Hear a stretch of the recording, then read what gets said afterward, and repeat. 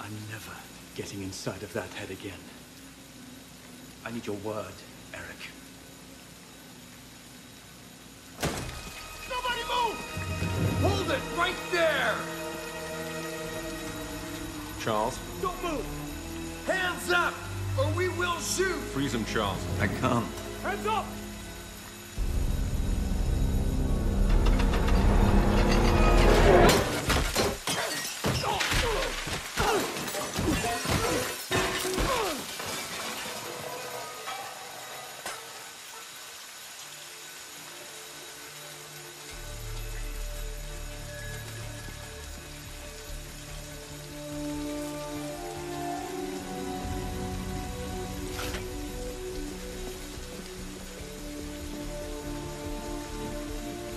Just kidding.